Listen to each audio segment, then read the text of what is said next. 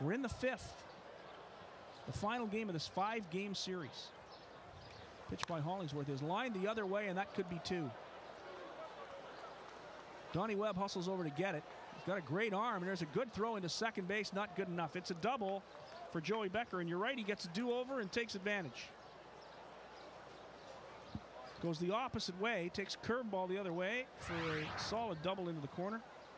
Good bit of hitting. No question.